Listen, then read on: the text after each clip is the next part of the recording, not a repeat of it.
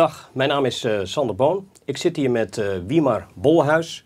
Uh, werkt bij de SER, maar belangrijker eigenlijk voor het gesprek vandaag is dat, dat hij morgen gaat promoveren op een onderwerp.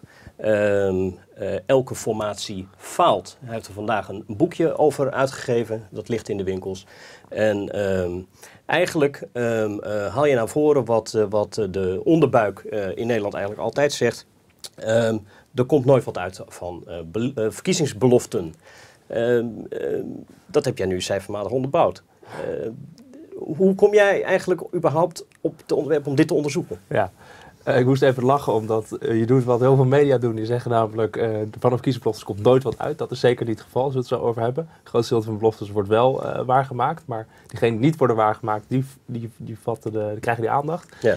Hoe ik het interessant begint, begon te vinden, ik heb een tijdje bij, uh, in een, bij een Tweede Kamerfractie uh, gewerkt. Uh, en ik heb een tijdje bij het ministerie van Financiën gewerkt. en ik heb een tijdje op een ministerie gewerkt als politiek assistent. En um, dan zie je in al die omgevingen dat het Centraal Planbureau en dan de ramingen en de voorspellingen, dat die heel belangrijk zijn. Um, in de keuzes die, die gemaakt worden, de adviezen die ambtenaren geven, de keuzes die politiek gemaakt worden. En, um, en dat is, heb ik altijd fascinerend gevonden. En wat ik heel interessant vond, toen ik studeerde, bestuurskunde, economie, kreeg ik altijd allerlei theorieën te horen over hoe politici zich zouden gedragen tijdens, uh, voor en na verkiezingen, uh, wat het economisch beleid zou zijn. Maar dat werd altijd getoetst door Amerikaanse en Engelse datasets. Ik dacht, ja, ik wil het ook een keer voor Nederland toetsen. Waarom, waarom doen we dat eigenlijk niet? Ja. En toen dacht ik, ja, die CPB-doorrekeningen, joh, dat zijn dus uh, doorrekeningen van verkiezingsprogramma's. Dat betekent dus dat partijen zeggen, hé, hey, dit is mijn programma. CPB, reken het door. Dit wil ik met de uitgaven doen, dit wil ik met de inkomsten doen, dit wil ik met de koopkracht doen, dit wil ik met, de, met macro-economische scores doen. En die geven dan goedkeuring om dat te publiceren. Dus het is openbaar, het is onafhankelijk berekend en elke keer op dezelfde manier. Namelijk voor de verkiezingen de verkiezingsprogramma's. Na de verkiezingen wordt de regeerakkoord op precies dezelfde manier berekend. En dan zeggen de formatiepartijen weer van, we geven goedkeuring om het openbaar te maken. Toen dacht ik, ja, hey, als ik daar nou een hele grote dataset van maak. Uh, dus ik tik gewoon letterlijk al die oude doorrekeningen over. Dan kan ik, uh, kan ik vergelijken, kijken wat nou inderdaad de invloed is van, uh, van ambtenaren. Je kan bekijken wat de keuzes van, van politici zijn voor en na verkiezingen. Ja. Uh, dus dat is eigenlijk de, de, de, de, fascinatie. Zowel werkgerelateerd als wetenschappelijk. Dat ik al ja. vanaf studententijd dacht, hier, in Nederland doen we te weinig met de data die we hebben. Uh, dus zo is het eigenlijk begonnen. Dus geen fact-free, maar feiten. Hè? Ja, is, uh, precies, en, En, en, hoe ver ben je daarmee teruggegaan? Hoe ver kon je terug? Nou, het Centraal Planbureau is uh, begonnen met het doorrekenen van, doorrekenen van verkiezingsprogramma's in 1986. Op verzoek van drie partijen, namelijk het CDA, VVD en de Partij van de Arbeid. Dus de traditionele partijen van hey, we zijn bezig, we zitten, hè, we zaten toen in, in, in zeg maar de, de, jaren 80 crisis, van we proberen oplossingen te verzinnen om het weer beter te laten gaan met Nederland. Maar dat willen we wel op, uh, op, op feiten doen, op kennis. Dus we zoeken een partij die onze verkiezingsprogramma's kan beoordelen. Toen kwamen ze bij het Centraal Planbureau uit. En uh, het Centraal Planbureau heeft het toen voor de eerste keer gedaan. Dus heeft toen voor drie partijen de verkiezingsprogramma's doorgerekend. Dat was echt een heel klein papiertje uit mijn hoofd, volgens mij 15 pagina's of zo. Um, en dat heeft zich uh, daarna enorm ontwikkeld. Dus uh, in 1986 deden drie partijen mee. En uh, de laatste keer, 2017, deden er elf partijen mee. dus je ziet dat het aantal partijen wat meedoet, dat stijgt. Ook het percentage partijen in de Tweede Kamer meedoet, stijgt. Dus er komt in die zin steeds meer, um, ja, steeds meer steun Ja, als je als voor. partij niet meedoet aan het, aan het toetsen van je partijprogramma, dan hoor je er eigenlijk niet bij. Hè? Dan krijg je, dus het is ook heel erg ja, precies. Dat, geworden. Dat, dat zeg je helemaal goed. En hoort er niet bij. Ik heb bijvoorbeeld voor proefschrift onderzocht van wat zijn nou redenen vanuit politici bedacht om mee te doen met de CPB-doorrekening. Nou, de, de, eerste die dan voor de hand ligt is van, hey, als je meedoet met de CPB-doorrekening en je kan dat uh, bewijs van geloofwaardigheid laten zien richting de kiezer, dan uh, bouw je vertrouwen op, krijg je meer stemmen. Dus uh, het is zeg maar electorale winst is het motief. Nou, ik heb het voor jaren onderzocht, maar er is echt geen enkel verband te vinden tussen meedoen met een doorrekening en of je meer stemmen haalt. Uh, dus dat, dat, dat is, eigenlijk is dat niet uh, uh, een overtuigende. de andere is nog van ja, je dekt je risico af. Hè, van, je kan in ieder geval niet beschuldigd worden ja. als je onbetrouwbaar bent. Ja. Dus als je bij de afgelopen verkiezingen zag dat bijvoorbeeld 50 plus had geen doorrekening van verkiezingsprogramma's. Kan toen echt in de problemen um, in de media, omdat ze toch beschuldigd werden met AOW. Plannen die dan niet betaalbaar zouden zijn. Onbetrouwbaar. ja, dus zeg maar dat, dat, dat politieke risicoaversie, zeg maar, het verkleinen van het risico dat je, dat je in electorale problemen komt. Dat is een tweede. Daar vind je nog wel in ieder geval anekdotisch bewijs voor. Maar het derde punt is vooral hè, geloofwaardigheid. Uh, dat het niet zozeer gaat om geloofwaardigheid richting de kiezer, maar eigenlijk geloofwaardigheid binnen politiek Den Haag. Als jij meedoet met, als jij een CPB-doelrekening hebt, dan, uh, willen, dan word je ook uitgenodigd aan de, aan de, aan de formatietafel. Het om uit te rekenen, sinds 1986 hebben er 33 partijen op een of andere manier meegedaan aan de formatie. Ze hebben aangeschoven, zijn niet allemaal de regering maar ze hebben aangeschoven, hebben onderhandeld, hebben gesproken. En van die 33 partijen hadden er 32 een doorrekening van het verkiezingsprogramma. Ja. Uh, de enige partij die het niet had, uh, was uh, de LPF. LPF, ja, ik wil het zeggen. En de rest wel, inclusief, ik telde ook even de gedoogsteun van de PVV mee in 2010. Die had er ook een. Dus je ziet dat, dat de kans op dat je in ieder geval aan de formatietafel wordt uitgenodigd, dus de kans op regeringsdeelname is dan echt, uh, die, die verhoog je uh, behoorlijk. Dus binnen de Haagse stolp wordt je inderdaad, is het een brevet van aanbeveling om dat toch dus maar even te ik doen? ik noem het inderdaad van, het meedoen is, ja. geeft niet zozeer externe geloofwaardigheid richting de kiezer, maar het geeft vooral interne geloofwaardigheid richting de andere uh, partijen in Den Haag. Ja, nu zeg je zelf, hè, 50PLUS deed er niet aan mee en, en werd in de media afgeschilderd als onbetrouwbaar mogelijk. Ja. Um, maar wat, wat, wat is jou nou opgevallen uit die doorrekeningen van um, uh, al die partijen, de beloftes die ze maken van tevoren en ja. uiteindelijk de uitkomst nadat de kabinetsformatie rond is? Um, zit daar een mate van uh, betrouwbaarheid in? Ja, het, het, het, het, goed om te zeggen dat het, het grootste gedeelte van wat, dus laten we zeggen ongeveer 70% van wat de coalitiepartijen hebben beloofd in het verkiezingsprogramma, zie ik dat komt ook terug in de, in de regeerakkoorden. En, en, zijn dat substantiële zaken? Of zijn dat... Ja, bijvoorbeeld de uitgaven aan, aan defensie, de uitgaven aan infrastructuur, de uh, koopkracht voor eenverdieners, uh, de um, uh, lasten, overige lasten als BTW. Um, dat, soort, dat soort dingen die worden allemaal gehaald. Ja. en dat is gewoon een behoorlijk aandeel. het leuke is natuurlijk dat mensen vooral willen praten over het geld wat niet behaald wordt. En dat is dan 20, 30 procent. En dat komt inderdaad overeen met een aantal gevoelens die mensen hebben over hoe politici besluiten nemen en wat ze voor verkiezingen zeggen en na verkiezingen doen. Maar wat, wat, wat als ik uh, um, um, het een en ander over, over lees, dan, dan is die, uh, die 20, 30 procent is structureel door de verkiezingen heen. Ja. Um, en als je dat bij elkaar optelt, is dat natuurlijk vrij uh, substantieel. Ja, bijvoorbeeld de, degene die ik het makkelijkst vind om over te praten is de, de 3,3 miljard lastenverlichting op arbeid, waarvan ik elke keer zie dat het niet doorgaat. Dus van 1986 tot 2017 gemiddeld komt de lasten, komen de lasten in regeerakkoorden komen 3,3 miljard hoger uit dan beloofd. Ja, dus het kan dus twee dingen betekenen. Lastverlaging, ja. en dat is goed voor de, de verkiezings... Ja. Eh, een mooie belofte is dat. Ja, dat is, hè, dus een mooie belofte, willen partijen ook graag doen. We verlagen de lasten op arbeid. Waarom? Leidt tot meer werkgelegenheid, want arbeid wordt goedkoper. En twee, leidt tot goede koopkrachtplaatjes, want uh, je verlaagt uh, de, de belastingen voor mensen. Uh, en wat je dan vaak ziet is dat het in ieder geval, dus die 3,3 miljard, het wordt niet volledig waargemaakt. Dus er worden enorme lastenverlichtingen beloofd. Want elke partij maakt zijn programma voor de kiezer. En vervolgens worden die in ieder geval niet volledig waargemaakt. Dus 3,3 miljard minder. Uh -huh. um, en anders slaat het af en toe wel eens om naar de juiste lastenverzwaring, terwijl het niet uh, beloofd was. En heeft dat, heeft dat dan ook wel eens te maken met incidenten die plaatsvinden tijdens de formatie? Of is dat, uh, heb je daar... Uh...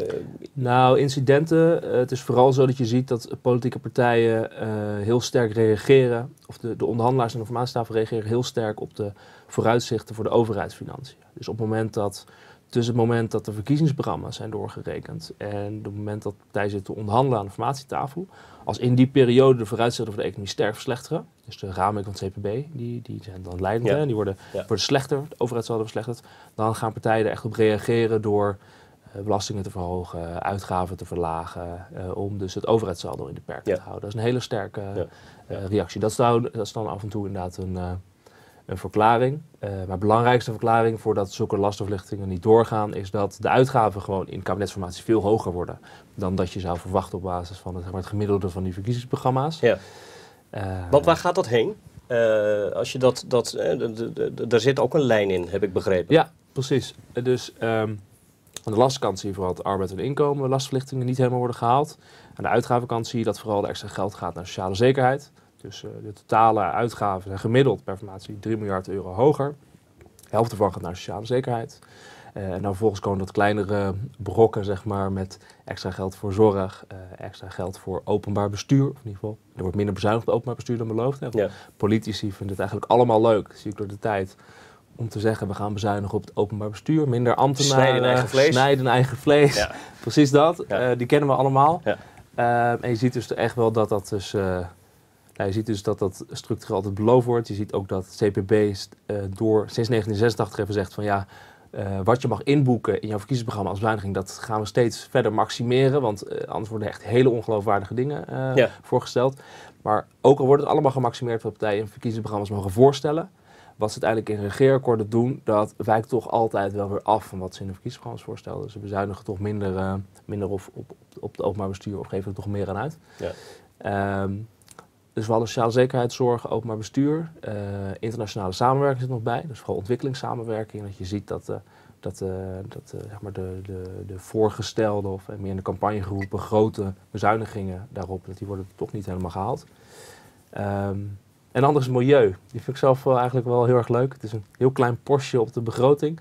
Maar je ziet dat er, dat er volgens mij uh, 2,5 keer zoveel gemiddeld in regeerakkoorden terechtkomt voor milieu dat partijen beloofden. In de, en dat is al vanaf 86 het geval, hè? Dus de tijd van de zure regen. Ja, ja, ja.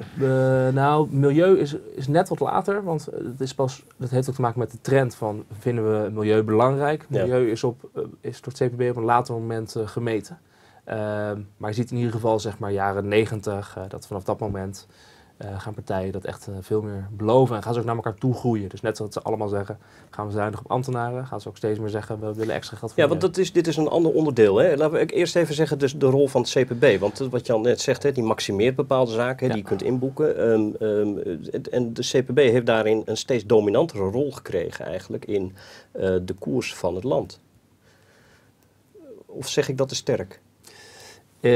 Ik denk dat dat uh, te sterk is. Wat in ieder geval zo is, is dat we met elkaar in Nederland hebben afgesproken dat we alles door het CPP laten checken. En dat, dus, dat betekent dus dat partijen en ook regeerpartijen in verkiezingsprogramma's en regeerakkoorden maatregelen moeten bestaan waarvan het CPB zegt dit is uitvoerbaar, dit is uitgewerkt genoeg. Uh, en daardoor zet je natuurlijk wel een bepaalde toets op. Dat is waar, een bepaalde disciplinering, zeg maar. Ja. Dus in die zin heeft het, uh, heeft het CPB uh, eh, invloed. maar er zullen heel veel mensen zeggen dat dat een hele goede invloed is. Want anders zouden politici voorstellen doen die niet uitvoerbaar en niet uitgewerkt zijn. Ja. En dan zit je achteraf met de gebakken peren. dat was 1960 natuurlijk ook het, de, de, de wens. daarom zijn ze ooit een keer naar het CPB gegaan. Um, en wat je ziet is dat het inderdaad wel zo is dat als dingen in de verkiezingsprogramma's komen staan, in doorgegeven verkiezingsprogramma's, dan heeft het een heel goed groot effect vervolgens op het regeerakkoord. Ja. Dat is waar. Maar je ziet ook dat politici dus altijd keuzes maken in het regeerakkoord die echt afwijken van wat ze eerder beloofden en wat door het CPB was getoetst. En ook dat ze afwijkende keuzes maken van wat ambtenaren adviseren voor het gebied van begrotingsbeleid. Ja. Uh, dus zie je echt wel duidelijke afwijkingen. Dus. Maar, maar zou jij, eh, want, want de stempel kan het op een, een, de, de, de, in, op, op een bepaalde manier natuurlijk wel drukken. Ehm, ook in het feit dat ze economische ramingen doen uh, als de verkiezingen voorbij zijn. Hè? Dat is ook een onderdeel van hun pakket. In Duitsland heb je verschillende instituten.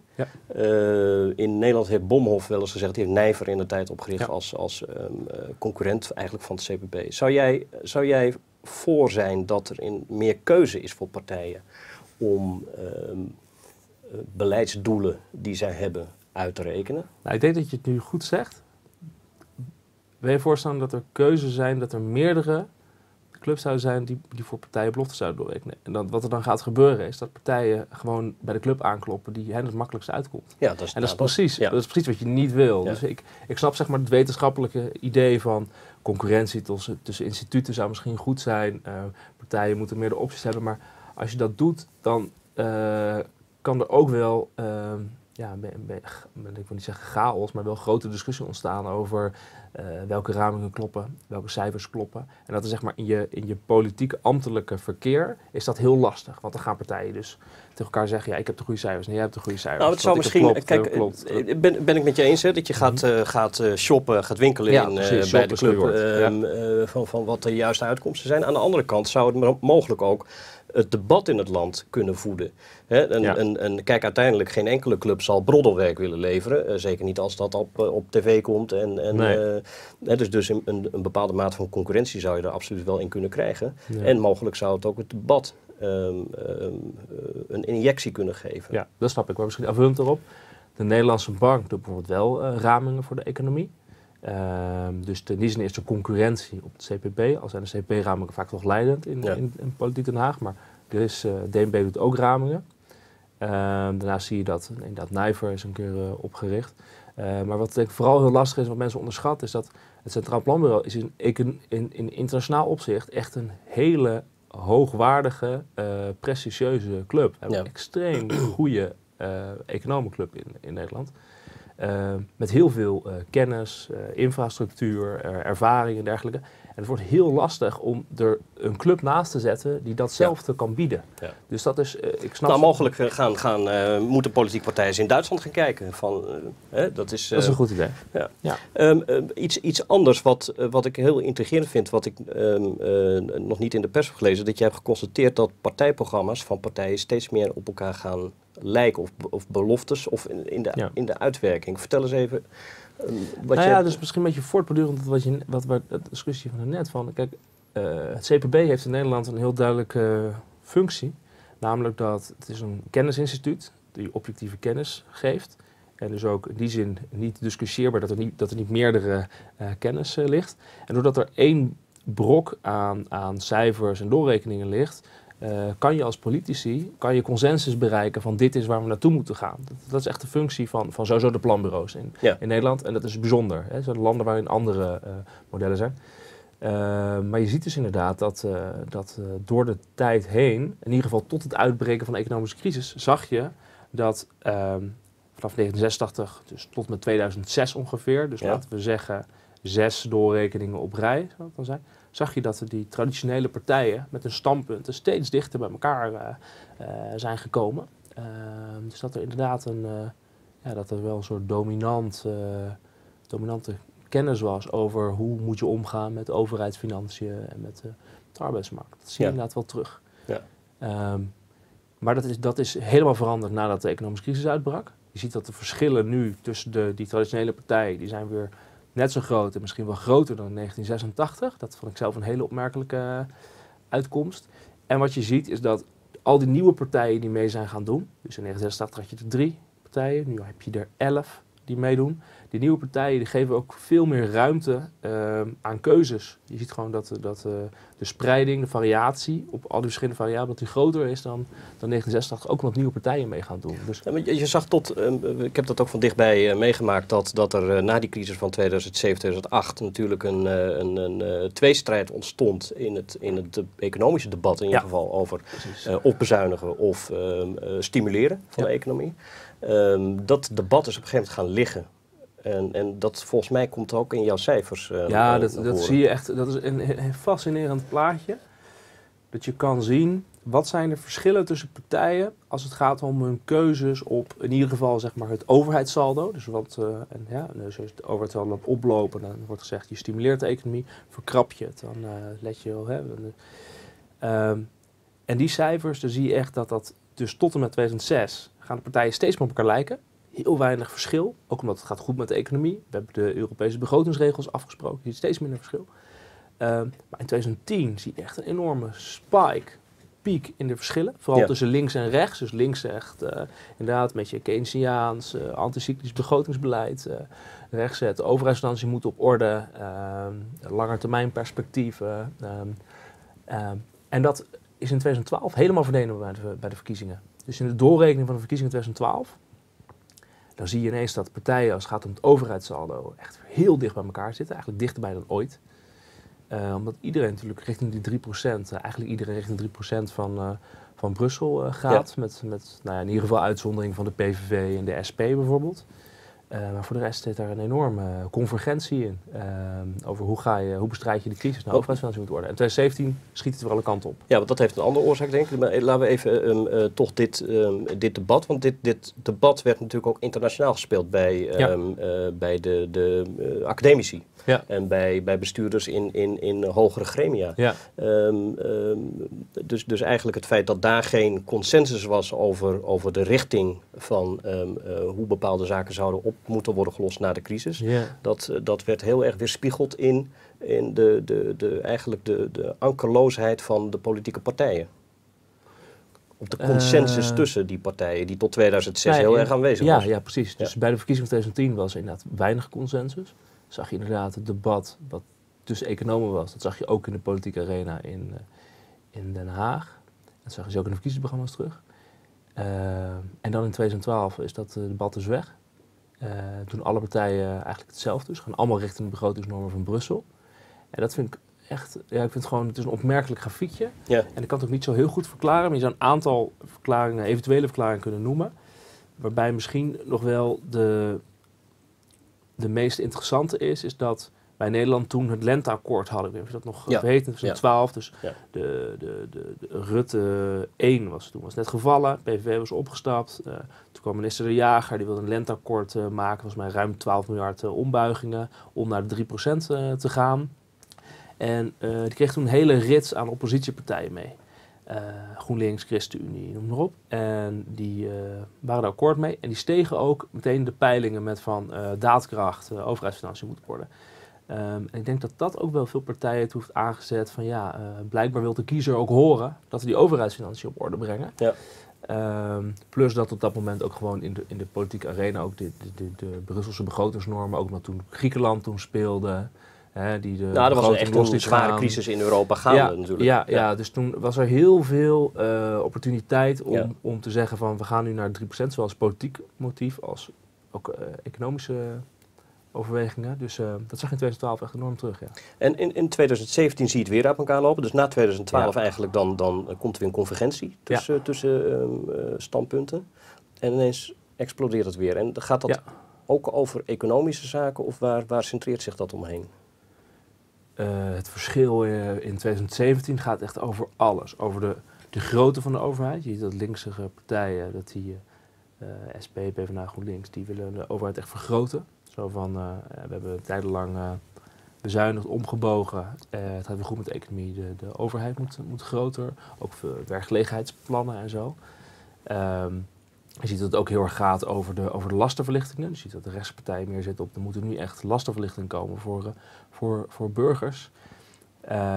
Dus dat zie je. En je ziet het ook vooral op belasten we bedrijven of belasten we burgers. Je ziet ja. dat de linkse partijen en vermogen. Dus je ziet dat de linkse partijen in 2017, komt waarschijnlijk ook de hele Piketty-discussies uh, en zo, uh, echt zeggen van we gaan uh, vermogen en winst gaan we extra belasten. Um, en dat schuiven we door naar, naar de lasten op, op arbeid. Dus komt de lastenverlichting op arbeid. En, en GroenLinks, zeker nog, er zit natuurlijk een enorme lastenverzwaring op milieuvervuiling. Zit ja. erin. Ja. dus die discussies gaan echt over hoe groot is de overheid, wat, wie betaalt de lasten. Daar gaat het in, ging het 2017 echt erg om. Um, de Rabobank heeft eerder ook een onderzoek um, um, gepubliceerd waarin zij uh, volgens mij vanaf 1977 hebben gekeken naar uh, de macro-economische uh, cijfers over de ontwikkeling van bedrijfsleven, de, de, hap die de overheid neemt uit de taart en de, de hap arbeid, hoeveel mm -hmm. arbeid krijgt. En zij hebben eigenlijk ook geconstateerd dat, dat de, de, de middenklasse, wat jij zegt van, van de, de, die zwaarder belast wordt of minder erop vooruit gaat, mm -hmm. er per saldo uh, daardoor het kind van de rekening is uh, geweest vanaf de jaren zeventig. Um, nu zie je dat, dat die discussie eigenlijk weer terug is over wie betaalt wat. Ja. Um, uh, zou je kunnen zeggen dat, dat omdat het tot 2006 eigenlijk vrij goed ging met de economie, Mm -hmm. uh, dat de economische taart groeide, dat het ook niet noodzakelijk was om het debat op dat niveau te voeren. Als iedereen erop vooruit ja. gaat, alleen de ene gaat er wat minder op vooruit dan de ander, dan... Ik denk dat dat sowieso meespeelt. Ik denk dat dat sowieso meespeelt in de hele maatschappelijke uh, discussie.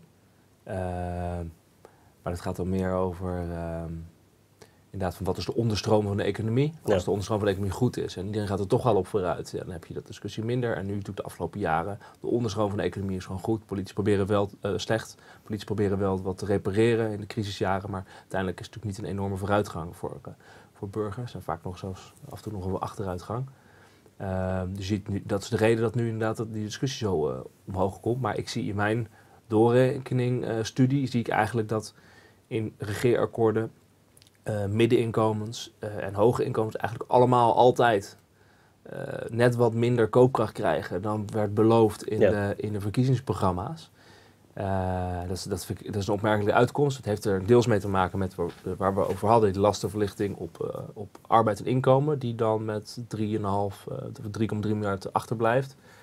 Eh, over de tijd, ja, dan zie je dat als je daar lastenverlichting op wil geven, dat is vooral natuurlijk voor de middenklasse. Voor de hoge inkomens, nou ja, dat gaat dan niet door. Wie merken dat? Nou, de hoge en de middeninkomens in de koopkrachtplaatjes. En je ziet dat lage inkomens en uitkeringsgerechtigden, en dat komt dan vooral omdat de sociale zekerheidsuitgaven zo hoog uitkomen. Eh lage inkomens en uitkeringsgerechtigden, die krijgen er wel echt eh, meer bij. Dus de koopkrachtplaatjes, dat is wel opmerkelijk. Het koopkrachtbeeld van eh regeringen is eigenlijk altijd eh, noem dat? Eh, eh, herverdeling van, eh, van hoog eh, naar laag. Ja. Ik denk niet dat het heel erg overeenkomt met de gevoelens in de samenleving, maar het is wel wat je, wat je ziet. Maar jij, eh, jij constateert eigenlijk ook dat er niet alleen een herverdeling is van hoog naar laag, maar ook van laag naar hoog. In de zin dat het bedrijfsleven veel minder ehm, eh, wordt ehm, eh, belast, of in ieder geval er eh, per saldo ook op vooruit gaat. Ja, ik noem het niet, ik snap het, ik noem niet laag van naar hoog, maar inderdaad gewoon van burgers naar Ja. bedrijven. Ehm, ja, je ziet vooral dat, dat, dat, dat, dat burgers vooral niet krijgen qua lastenverlichting wat hun beloofd is. Dat het enorm achterblijft. En bedrijven krijgen beperkt meer lastenverlichting dan Ja. dat wat hen... vaak wordt gezegd, bedrijven moeten iets meer belasting betalen. En dan volgens blijkt toch per saldo minder belasting betalen of zelfs nog een lastenverlichting. Eh, dus dat verschil is wel heel opmerkelijk. Van als je de vraag hebt van, er zijn coalitiebesprekingen, de, er wordt besloten meer geld uit te geven. Oké, wie gaat het dan betalen? Dan is eigenlijk de uitkomst is altijd de burger, de werkende. Ja. Dat is, dat is gewoon de uitkomst van... Is, is er ook niet, kijk, het bedrijfsleven ehm, eh, is, is natuurlijk de afgelopen 30 jaar ook in, in, in grote mate geïnternationaliseerd. mhm. Ehm, de Financial Times heeft daar bijvoorbeeld ook een onderzoek naar gedaan, naar het belastingdruk voor bedrijfsleven eh, sinds de, de Ja. crisis eh, tot, tot eigenlijk vorig jaar. En daar komt ook uit dat het bedrijfsleven per saldo minder belasting is gaan betalen en Ja. de, de belasting op arbeid omhoog is gegaan. Ja, dat, dat, dat spoort is helemaal precies met, mijn jouw onderzoek. Ja. Ehm, maar het bedrijfsleven is natuurlijk in staat om te zeggen, weet je wat, we gaan ergens anders zitten of we gaan een, een, een strategieaanpassing doen Ja. enzovoort enzovoort. En denk jij dat dit, de- deze lobby echt in, invloed heeft op de uitkomsten van de kab- kabinetsformaties? Eh, nou ja, de, de uitkomsten van mijn onderzoek suggereren dat wel, ja. Eh, er zijn eigenlijk, eh, denk ik, drie verklaringen die ik wel eh, zou willen geven voor de vraag waarom komt die lastenverlichting eh, bij bedrijven terecht. Eerste zou eigenlijk zijn van, misschien heeft het maar gewoon te maken met politieke economie. Hè, eh, in de zin van, eh, politici willen het aantal stemmen maximaliseren bij de verkiezingen. Dat betekent dat je voor verkiezingen in je programma's, dat je die totaal toeschrijft naar stemmen krijgen bij burgers. Dat betekent dat je lastenverlichting voor burgers belooft. Dat je zegt, bedrijven moeten iets meer belasting betalen. En na de verkiezingen speelt er iets, hè, zijn er andere overwegingen. Maar dan heb je, dus dan is het logisch dat het afwijkt. Ehm, tweede punt is eigenlijk dat het voor partijen in onderhandelingen wel fijn is om eh, in ieder geval eh, niemand te laten verliezen. Hè, dus op het moment dat jij eh, kan zeggen van oké, we hadden de bedrijven iets meer lastenverzwaring beloofd. Laten we dat niet doen, want echte lasten verhogen, ja, dat merken ze meteen. Dat is vervelend, krijgen we discussies met, met Internationale de internationale concurrentie, Ja. dat soort zaken. Ehm, en als we de burgers niet de volledige lastenverlichting geven die we ze hadden beloofd, ehm, ja, dan krijgen ze alsnog een beetje lastenverlichting. Eh, daar zijn ze nog steeds blij mee. Ze krijgen niet hetgene wat hun volledig eh, beloofd was. En de derde is inderdaad dan lobbymacht. Van, ja. de, de, de, ehm, het is duidelijk dat, eh, dat de, volgens mij is de afgelopen kabinetsformatie heeft laten zien dat je via ehm, lobby voor bedrijven, dat je invloed kan hebben op een, een kabinetsformatie. Ja. Ja. Ja, ja. Maar ik, ik kan dan niet, ik zie alleen de uitkomsten voor na verkiezingen en dan denk ik, ja, dit zijn verklaringen waarom in die black box er blijkbaar een andere keuze wordt gemaakt. Maar ik heb geen eh, direct bewijs ervan. En er is ook een tendens geweest dat de, de collectieve onderhandelingsmacht van, eh, van de arbeider is afgenomen. Dat is natuurlijk ook een tendens geweest. Dat, eh, is dat, kan dat ook een factor zijn? Dat, dat zeg maar de... Ja, het is natuurlijk interessant om te zien dat, dat in kabinetsformaties, dat we in Nederland echt al heel erg lang de gewoonte hebben dat als er kabinetsformaties zijn, dat dan eh, natuurlijk al die financieel-economische ambtenaren allemaal langskomen. Dus het Centraal Planbureau, directeur komt langs en de Nederlandse Bank komt langs en de voorzitter van de studiegroep Begrotingsruimte komt langs. Maar komt ook de voorzitter van de SER langs en de voorzitter van VNO-NCW, dus de werkgeversvereniging, en de voorzitter van de, van de vakbond, eh, van de FNV, komen allemaal langs.